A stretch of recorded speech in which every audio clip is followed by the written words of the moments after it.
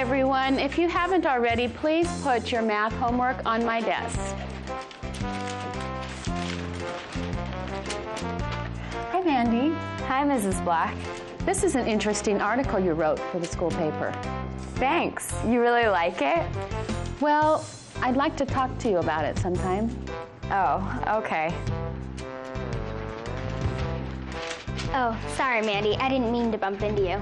Oh, uh, that's okay, Trina.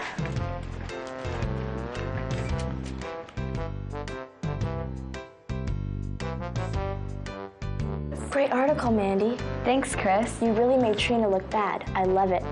Chris, please raise your hand if you want to say something. Sorry, Mrs. Black. I was just talking to Mandy. Next time, please wait till after class to talk to Mandy. Yes, Mrs. Black.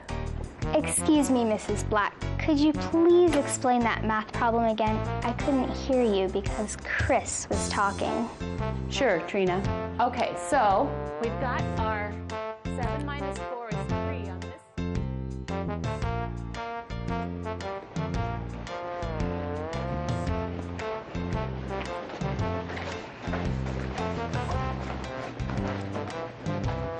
Hey, Mandy, what class do you have next period? Biology? With Mr. Thompson in room 204? Yes. Okay, I'll tell my boyfriend. Why? He didn't like what you wrote about me in the paper. I'm sorry, but what I wrote was the truth. Well, I didn't like it either, so my boyfriend is going to do something about it. Like what? You'll see.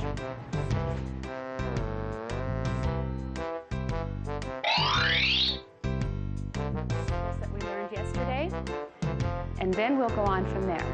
I'm sorry I'm late, Mrs. Black. That's okay, Mandy. Teacher's pet. Do you have something to say, Trina? No.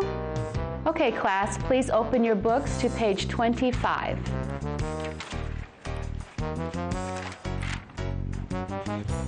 All right, everyone, please write down the problem I have on the board. Is something wrong, Mandy? Uh, I can't find my pencil. Who would like to lend Mandy a pencil? I think Jenny has an extra pencil. Jenny? Oh, sure. Here you go, Mandy. This is my pencil.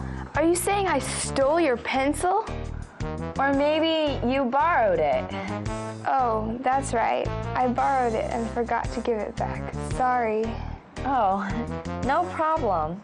Can we get back to the lesson, girls? Yes, Mrs. Black.